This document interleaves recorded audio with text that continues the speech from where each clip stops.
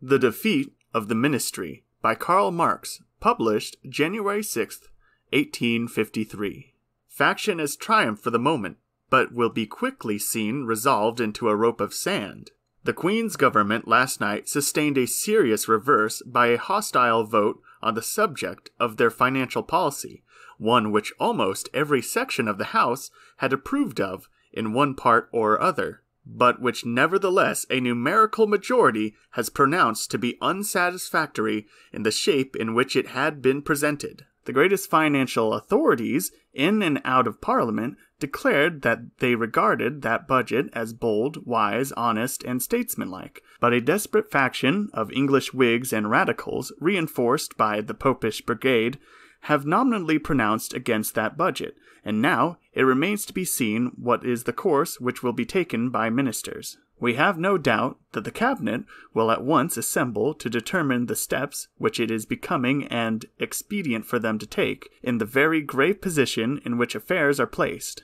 Whether the government will consent to conduct the business of the country, notwithstanding the vote last night, we cannot undertake to say. The last government would of course have clung to office after half a dozen such reverses, but we are certain that their power successors will not continue to hold their reins of power one instant after they shall be of opinion that duty to the Queen and to the country dictates their surrender. If the Earl of Derby shall tender his resignation to the Queen, and it should be reluctantly accepted by Her Majesty,